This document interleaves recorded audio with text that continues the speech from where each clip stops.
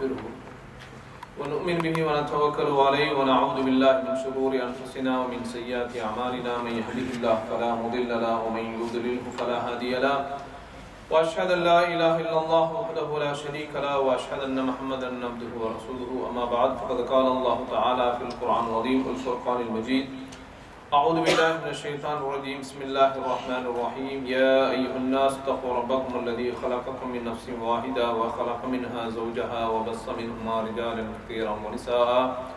واتقوا الله الذي تساءلون به والأرحام. إن الله كان عليكم رقيبا.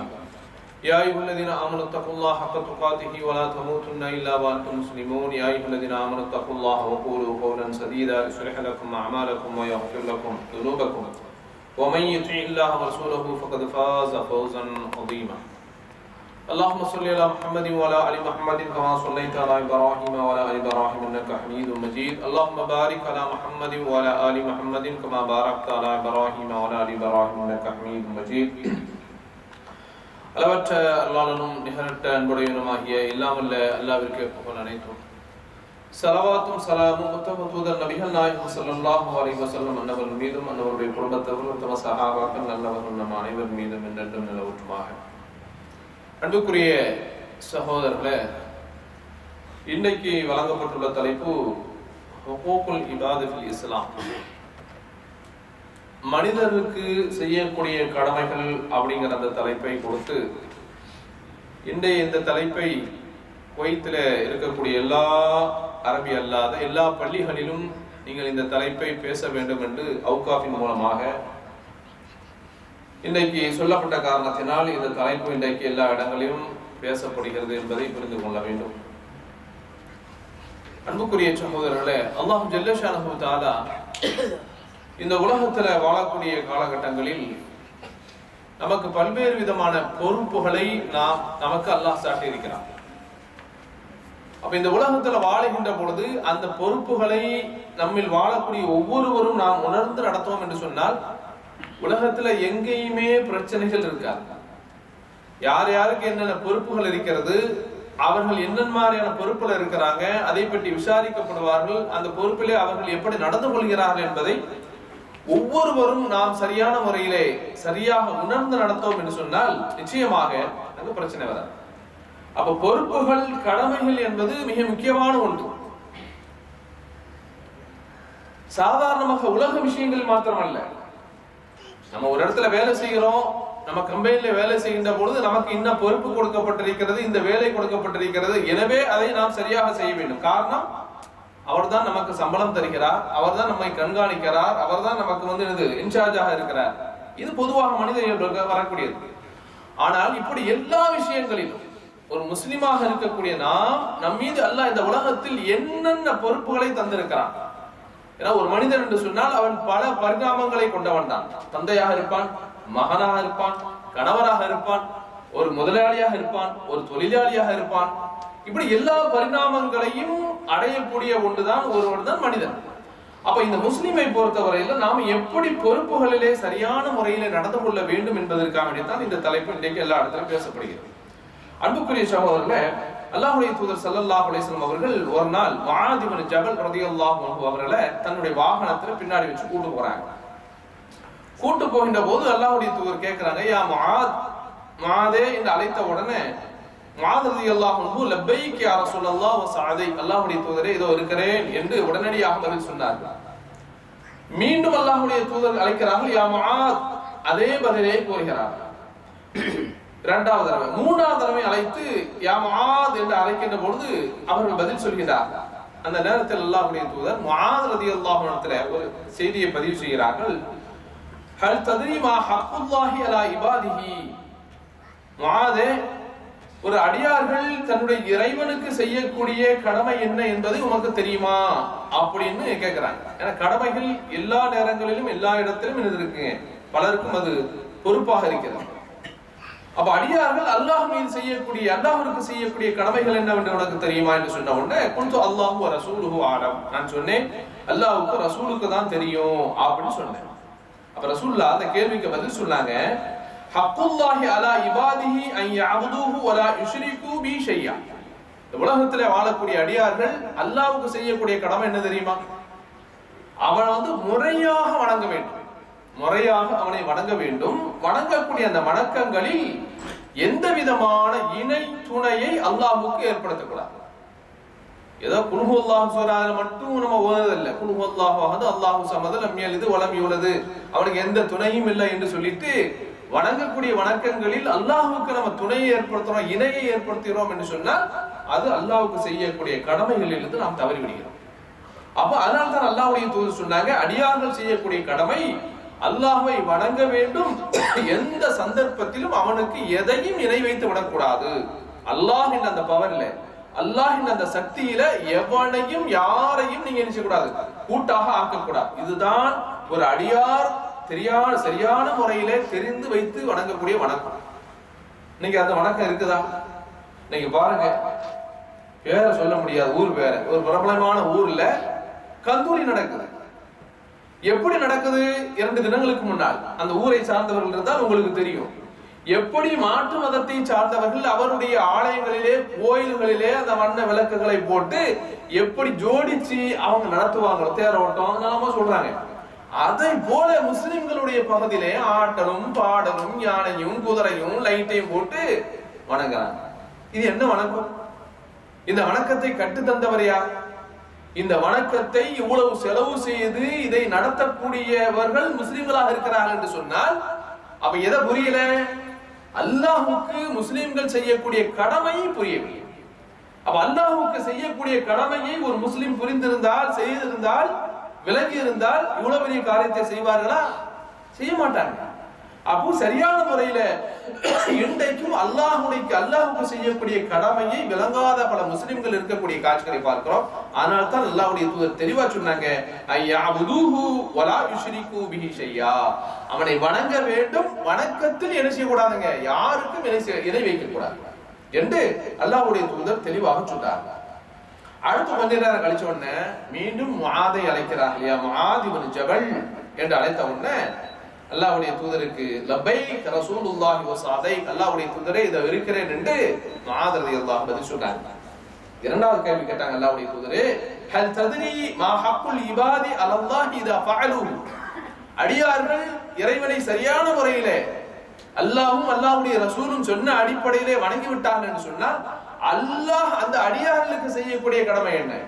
என்று சொல்கின்ற போது அப்பவும் சொன்னாங்க குல்து அல்லாஹ் ரசூலுஹு ஆலம். நான் சொன்னேன் அல்லாஹுக்கும் அல்லாஹ்வுடைய ரசூலுக்கு தான் தெரியும் என்று சொன்ன உடனே அல்லாஹ்வுடைய தூதர் அந்த கேள்விக்கு பதில் தந்தார்கள்.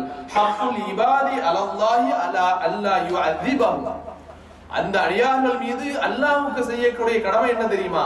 அவன் ஒருபோதும் அந்த மாதிரியான அடியார்களை வேதனை செய்ய மாட்டான்.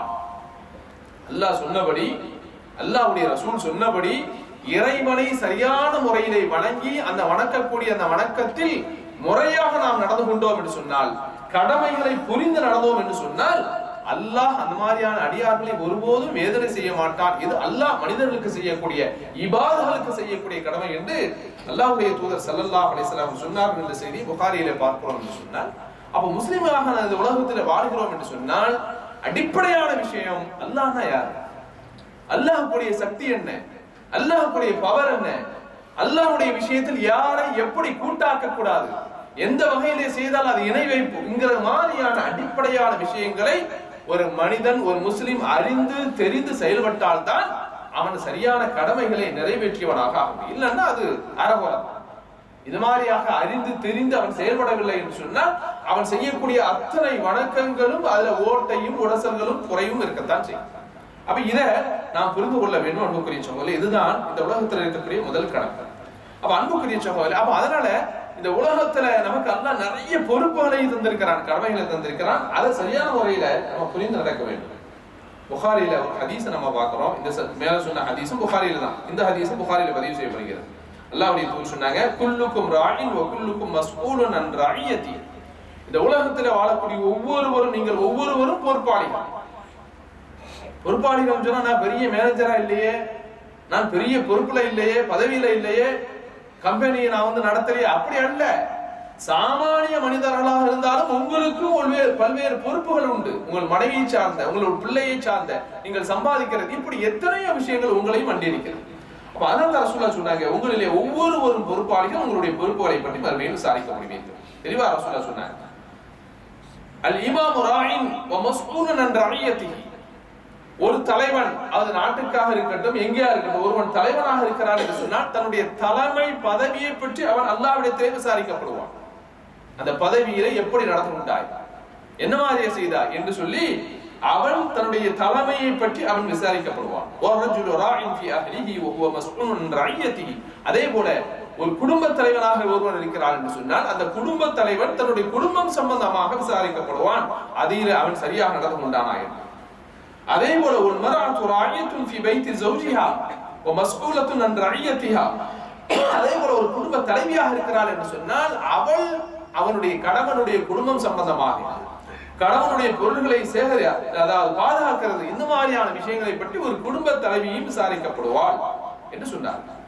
அடுத்து சொன்னாங்க ஒல் ஹாதிம் ராயின் ஃபி மாலி அதே போல ஒரு பணியாளர் இருக்கிறார் என்று சொன்னால் அந்த பணியால் தன்னுடைய எஜமானன் தன்னுடைய முதலாளியுடைய விஷயத்துல அவனுடைய செல்வத்தின் விஷயத்துல எப்படி நடந்து கொண்டான் என்று அவனும் விசாரிக்கப்படுவான் என்று அல்லாஹுடைய தூதர் பட்டியலிட்டு காமித்து உங்களிலே ஒவ்வொருவரும் பொறுப்பாளிகள் உங்களுடைய பொறுப்புகளை பற்றி விசாரிக்கப்படும் சொன்னார். அப்ப இந்த உலகத்துல பாருங்க ஏன் பிரச்சனை வருது? எதுக்கு போலீஸ் ஸ்டேஷன்லாம் திறந்திருக்குது? எதுக்கு நீதிமன்றங்கள்லாம் திறக்கப்பட்டு இன்னைக்கு லட்சக்கணக்கான கோடிக்கணக்கான வழக்குகள் இன்னைக்கு தேங்கி நிற்கிறது என்று சொன்னா அடிப்படையான காரணம் என்னன்னா அவரவர்கள் தங்களுடைய பொறுப்புகளை சரியான சரியாக செய்யாத காரணத்தினால் அந்த பொறுப்புகளிலே தவறளிக்கின்ற பொழுதுதான் எங்க போதுங்க எல்லாமே? நீதிமன்றத்தை நோக்கி போக்கு. நிறைய வழக்குகள் இன்னைக்கு போயிட்டு இருக்குது. பத்தாக்குறை நீதிபதிகளுடைய பத்தாக்குறை அவர்களால் தீர்ப்பு வழங்க முடியவில்லை என்கிற அளவுக்கு இன்னைக்கு நிறைய குற்றச்சாட்டுகளும் வழக்குகளும் இன்னைக்கு தேங்கி நிற்கிறது. காரணம் என்ன? அடிப்படையான காரணம் என்ன? ஒவ்வொருவரும் அவருடைய பொறுப்புகளை என்ன செய்யுங்க? புரிந்து நடக்கிறார் ஒரு தலைவன் தன்னுடைய தலைமை பதவியை அவன் நாட்டினுடைய தலைவராக இந்த தலைவராக அவர் வந்து புரிஞ்ச நடந்தாருன்னா எங்கேயா பிரச்சனை வருமா? நாட்டுக்குள்ள பிரச்சனை வருமா? வரவே செய்யாது. ஏன்னா அவர் சரியான முறையிலே சென்று கொண்டிருக்கிறார். தன்னுடைய பொறுப்புகளை சரியான முறையில் நடத்தி கொண்டிருக்கிறார். ஒரு குடும்ப தலைவன் குடும்ப கணவன் மனைவிக்கு மத்தியில பிரச்சனை. அப்ப குடும்ப தலைவராக இருக்கக்கூடியவர் சரியான முறையிலே மார்க்கத்தை அறிந்து இப்படிதான் குடும்பத்தை நடத்த வேண்டும். இப்படிதான் நம்ம செயல்படணும் என்று சொல்லி அவர் புரிந்து நடந்தால் அந்த குடும்பத்தில் எந்த பிரச்சனையும் இல்லை. ஒரு குடும்ப தலைவியாக இருக்கக்கூடிய ஒரு பெண் அங்க வந்து அவர் சரியாக குடும்பத்தை நடத்தினார் அவனோடு அங்கேயும் பிரச்சனை இல்லை.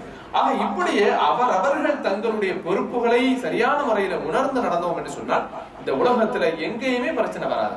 அப்ப பிரச்சனைக்கு அடிப்படையான காரணம் என்னவென்று சொன்னால் நான் செய்யக்கூடிய பொறுப்புகளை நான் இருக்கக்கூடிய பொறுப்புகளை நான் செய்யக்கூடிய கடமைகளில் இருந்து நான் தவறழைக்கிறேன். நான் அங்கே சரியான முறையில் செயல்படாமல் இருக்கிறேன் என்று சொன்னால் அங்கே என்ன வந்துருதுங்க? எல்லா குழப்பங்களும் எல்லா பிரச்சனையும் வரக்கூடிய செய்தியை நம்ம பார்க்கலாம். எனவே அன்புக்குரிய சகோதரி அப்போ பொறுப்புகளை உணர்ந்து நடக்கக்கூடியவர்களாக அதை பேணி நடக்கக்கூடியவர்களாக இருக்க வேண்டும். அதனால தான் அல்லாவுடைய தூர் சொன்னாங்க. அல் முஸ்லிமு அகுல் முஸ்லிம். ஒரு முஸ்லிம் இன்னொரு முஸ்லீமுக்கு சகோதரனாக இருக்கிறான். லா யதுலிமுஹு வலா யஹ்துலுஹு அவன் அந்த முஸ்லீமுக்கு ஒருபோதும் அநீதம் செய்ய மாட்டான். அவன் முஸ்லிமாக இருந்தான் என்று சொன்னால் இன்னொரு முஸ்லீமுக்கு அவன் அநீதம் செய்ய மாட்டான். யஹ்துலுக்கு அவனுக்கு எந்த விதமான துரோகமும் செய்ய மாட்டான். அவனை இழிவாகவும் நினைக்க மாட்டான். வஹஸ்பி இம்ராஹி மின ஷர்ரி அன் யஹ்கிர அஹாஹுல் முஸ்லிம். ஒரு மனிதன் பாவி என்பதற்கு அடையாளம். ஒரு மனிதன் தீங்கு செய்கிறான் என்பதற்கு அடையாளம் தன்னுடைய கூட இருக்கக்கூடிய முஸ்லிம் சகோதரனை இழிவாக நினைச்சாவீங்க அதுவே நீ பாவிங்கிறாங்க. அவன்கிட்ட காசு இல்லாம இருக்கலாம்.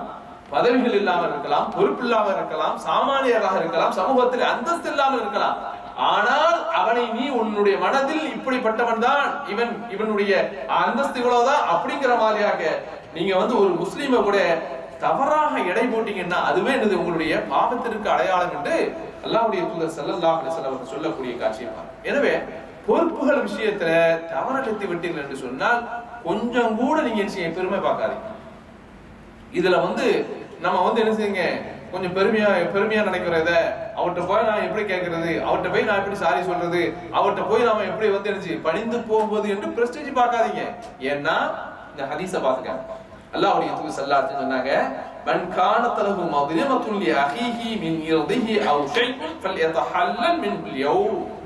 உங்களிலே யார் தன்னுடைய நண்பனுக்கோ சகோதரனுக்கோ யாருக்கோ ஒருவருக்கு அவர் மான விஷயத்துல மானத்தை போக்கி இருக்கும் நாலு பேர் சேர்ந்து இருப்போம் ஏதாவது ஒரு சமாசில ஒரு பேச்சில வந்து அவனுடைய மானத்தை பறித்திருப்பார் அவன் அசிங்கப்படக்கூடிய அளவுக்கு சபையிலே அவனை கேவலப்படுத்தக்கூடிய அளவுக்கு அவன் மனசு வருத்தப்படக்கூடிய அளவுக்கு பேசி இருப்போம் ஏதாவது ஒன்று செய்திருப்போம்.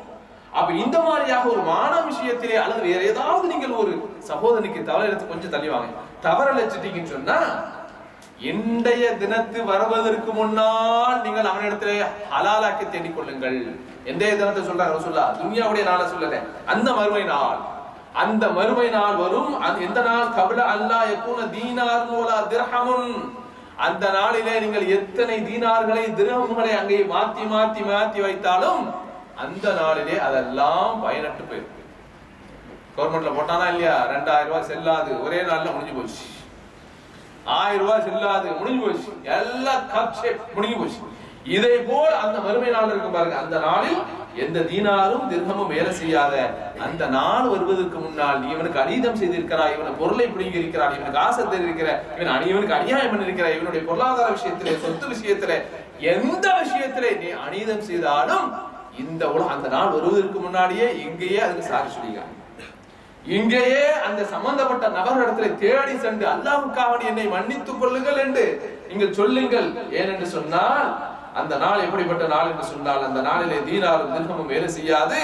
நீங்கள் அநீதம் செய்தால் உங்களுடைய நீங்க அநீதம் செய்து நன்மை சேர்த்து வச்சிருப்பீங்களே. நிறைய பேர் இருக்காங்களா இல்லையா? தொழுவுறாங்க. இந்த பக்கத்துல அணியா.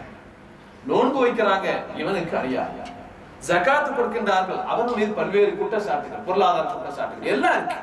அப்ப இந்த மாதிரியாக இருக்குமே ஆனால் நீங்கள் நன்மை செய்தாலும் கூட உங்களுடைய நன்மை எல்லாம் நல்லா புடுங்கி புடுங்கி புடுங்கி யாருக்கு கொடுக்க வேண்டுமோ அவர்களுக்கு கொடுப்பான். நீங்க நன்மையை வைக்கிறன்னா அவன் பாவம் செய்திருப்பான பாதிக்கப்பட்டவன். அவன் பாவத்தெல்லாம் புடுங்கி புடுங்கி அவன் தலையில அல்லாஹ் ஒரு தலையில கொண்டு போட்டு விடுவான் என்று அல்லாவுடைய தூதர் ஸல்லல்லாஹு அவர்கள் எச்சரிக்கை செய்யக்கூடிய காட்சியை அப்ப இதை யோசித்து பாருங்க.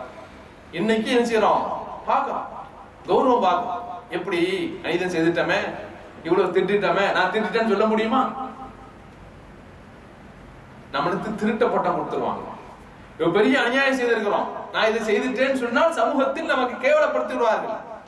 நம்ம இமேஜே டேமேஜ் ஆயிரும். நினைக்காதீங்க.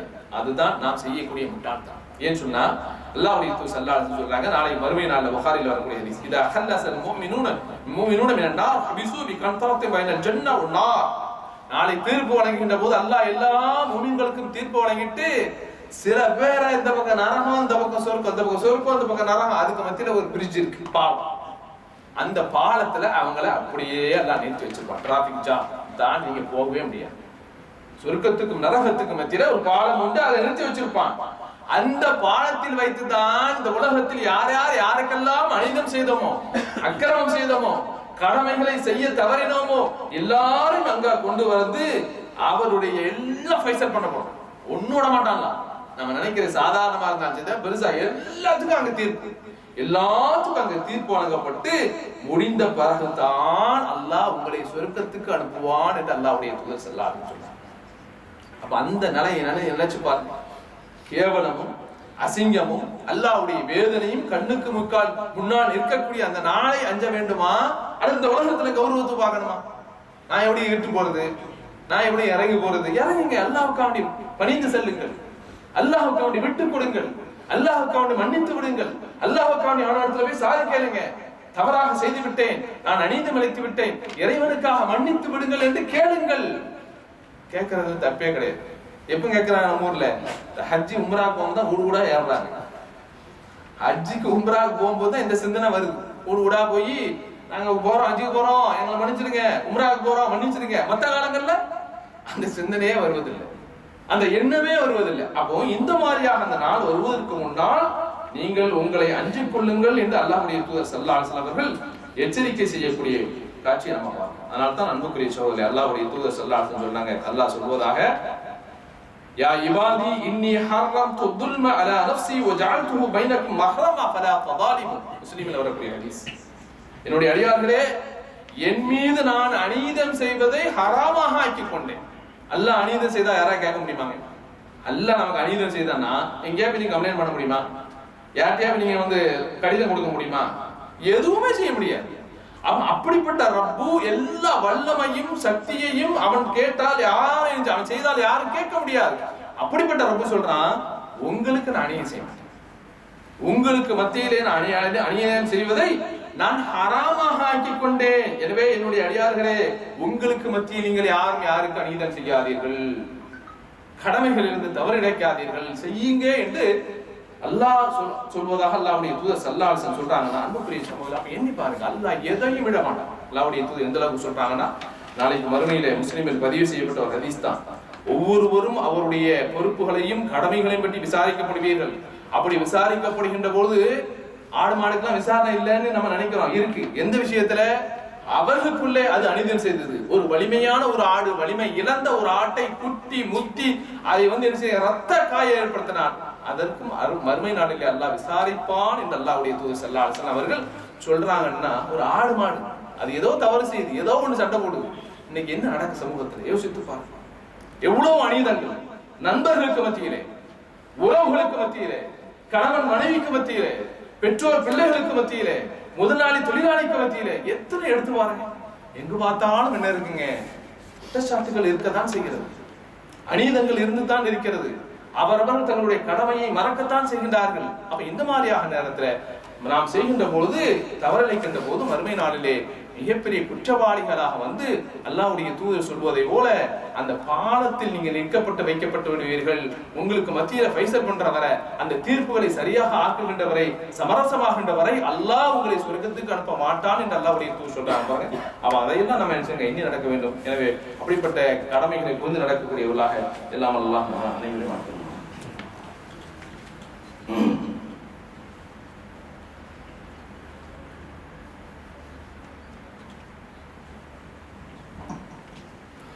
அலமதுல்லா அலமதுல்லா ஹிரபில் ஆலமீன் உஸ்லாத் உஸ்லாம் அலா சையது முசலி நவீனா முகமதின் வாலா அலிஹி உஸ்லி அஜ்மாயின் அன்புக்குரிய சகோதரர்கள் இன்னும் ஒரு சில தினங்களில் இன்ஷா அல்லா வசந்த காலமாக இருக்கக்கூடிய ரமாதானுடைய மாதம் நம்மை வந்தடைய இருக்கிறது.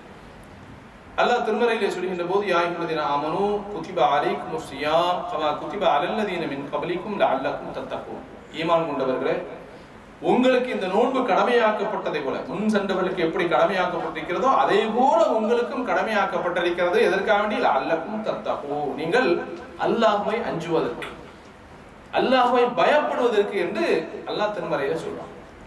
அப்ப பொதுவாக இன்னைக்கு நம்ம பயப்படலையா? அல்லாஹ் பயப்படலையா? அல்லாஹ் பயந்தனால தான் ஜும்மாக்கு வந்திருக்கிறோம். அல்லாஹ் பயந்தனால இந்த தொழுகை அல்லாவுக்கான தொழுகை நிறைவேற்ற வந்திருக்கிறோம். அப்ப பயப்படுறோம். ஆனால் இந்த பயத்தை முழுமையான அந்த பயத்தை தரக்கூடியது எதுன்னா வரக்கூடிய நோய். ஒருவன் நோன்பு வைத்து விட்டான் என்று சொன்னால் அத்தனை ஆசைகளும் அத்தனை உணர்வுகளும் அவனுக்கு அடக்கப்படுகிறது உலகத்துல எதை வச்சு நீங்க செய்ய முடியாது யோகா செய்தாலும் சரிதான் எக்ஸசைஸ் பண்ணாலும் சரிதான் வேற என்ன வேணாலும் நீங்க சொல்லுங்க எதையாலும் கட்டுப்படுத்த முடியாத உணர்வுகளை கட்டுப்படுத்தக்கூடிய ஒரே சக்தி இந்த நோன்பு குழு.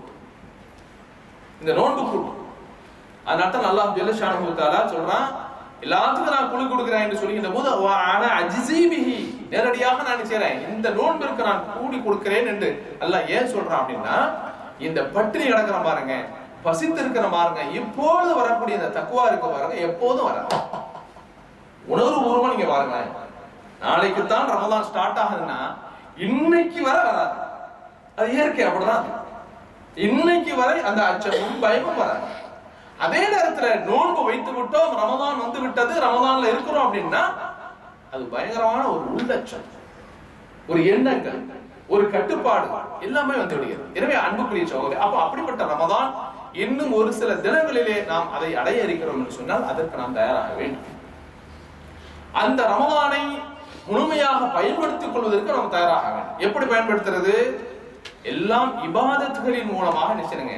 வணக்க வழிபாடுகளின் மூலமாக நாம் அதை பயன்படுத்த வேண்டும். அப்ப வணக்க வழிபாடுகள் மற்ற காலங்களில் செய்யலையா? தொழுகிறேன் திக்ர் செய்யறேன் குரான் ஓதுறேன் தர்மம் செய்கிறேன் இன்னும் பல நல்லவைகளை நல்ல நல்லவைகளை செய்து கொண்டு தானே இருக்கிறேன். அப்ப ரமதான்ல என்ன செய்வது என்று சொன்னால் அப்ப ரமதானில வந்து கூடுதலாக நாம் கவனம் செலுத்த வேண்டும். எல்லா காலங்களிலும் சொல்றோம் மற்ற காலங்கள் தொழாம இல்லை. பரத தொழுகிறோம் சுண்ணத்தை தொழுகிறோம் வித்திரு தொழுகிறோம் முடிஞ்ச தகஜ தொழுகிறோம் எல்லாம் தொழுகிறோம்.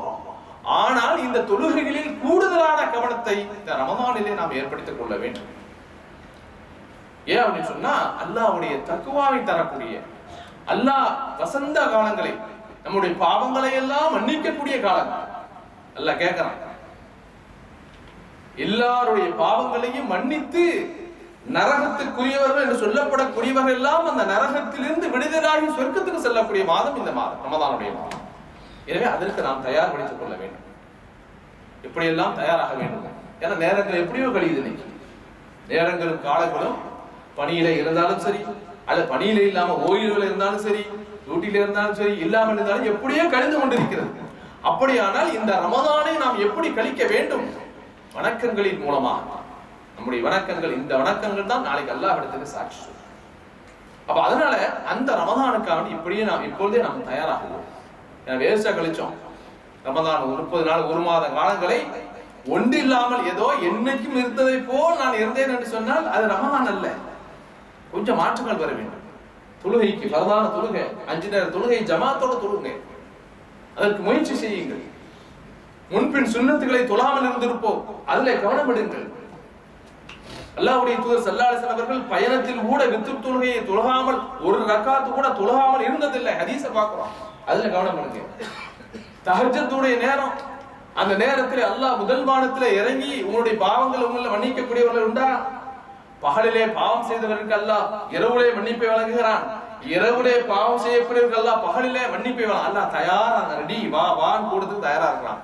நாம தூங்கிட்டு நேரத்தை கழிச்சோம்னு சொன்னா வேஸ்டா அப்ப இந்த மாதிரியாக எல்லா வணக்கம் குறிப்பாக தொழுகை விஷயத்துல அதிகமான கவனம் எடுங்கள் திக்ர் விஷயத்துல அல்லாவை திக்ர் செய்யக்கூடிய விஷயங்கள்ல ரமதானுடைய வழக்கங்கள்ல அதிகமாக திக்ர் செய்யுங்கள் அல்லாஹ். அல்லாஹ் திக்ர் இல்லாஹி தத்துவ ஐநூறு குழு அல்லாஹ் சொல்கிறானே நீங்கள் அல்லாவை நினைப்பதின் மூலமாக உள்ளங்கள் நிம்மதி அடையும். உள்ளங்கள் நிம்மதி அடையும். அல்லாவை திக்ர் செய்து கொண்டே குரானோட அதிகமான தொடர்புகளை ஏற்படுத்துங்க குரானை ஓதுங்கள். மற்ற காலங்களில் ஓதுவாங்க. ஆனா இந்த ரமதானுடைய காலங்கள்ல அதிகமாக அந்த குரானுக்காக வேண்டி நேரத்தை ஒதுக்குங்கள். அந்த குரான் இறங்கிய மாதம் ரமதானுடைய மாதம். அதனால தான் நல்ல அந்த ரமதானுக்கு சிறப்பை தந்திருக்கிறேன் என்று சொல்கிறான் என்று சொன்னால் குரான் ஓதுவதிலே அதிகமான கவனங்களை செலுத்து. நேரம் கிடைக்கின்ற பொழுதெல்லாம் முறை வைத்து அந்த குரானை ஓதக்கூடியவர்களாக நாம் இருக்க வேண்டும் இந்த ரமதானில். ஏன்னா எல்லாத்துக்கும் மொபைல் வந்துச்சு மொபைலே வச்சு ஓதலாம் குரானை தூக்கிட்டு போகணுங்கிற அவசியம் இல்லை இன்னைக்கு. இருந்த இடங்களிலே குரான் மொபைலை வைத்துக் கொண்டு ஓதக்கூடிய அளவுக்கு இன்னைக்கு வசதிகளை நாம் பெற்று விட்டோம் என்று சொன்னால் குரான் ஓதுவதிலே அதிகமான கவனத்தை செலுத்துங்கள். அடுத்ததாக தர்மங்களை. நாம் அதிகமாக எல்லா காலங்களும் தர்மம் செய்திருப்போம் மற்ற காலங்களில் செய்திருப்போம். இந்த ரமதானுடைய காலத்தில் அதிகமாக செய்யுங்கள். காண அஜ்வத மின் அப்ரீஹில் முர்சலா. அல்லாவுடைய தூதர் சல்லா அலிஸ்லாம் அவர்கள் குறிப்பாக பிந்தைய வந்து வந்து விட்டது என்று சொன்னால் என்ன செய்வாங்க? அதிகமாக வீசக்கூடிய காட்டை விட கடுமையாக தர்மம் செய்யக்கூடியவர்களாக தர்மம் செய்வதற்கு தயாராக. மற்ற காலங்களில் செய்தோம். பலருக்கு உதவி செய்தோம். இந்த காலங்களில் இந்த ரமதானுடைய காலங்களில் அதிகமான தர்மம் செய்வதற்கு என்ன செய்யுங்க? நாம் முயற்சி செய்ய வேண்டும். அதற்கான முயற்சிகளை நாம் எடுக்கணும். ஆக இப்படி அன்புக்குரிய சகோதரர்களே காலை நேரத்தில் பசித்திருந்தாலும் கூட அந்த பசியை வைத்துக்கொண்டே வணங்குறது இரவு நேரத்திலே நோம்பு திறந்து கண்விழித்து இறைவனை வணங்குறதற்கு பாருங்க அதுவும் சிறப்பு.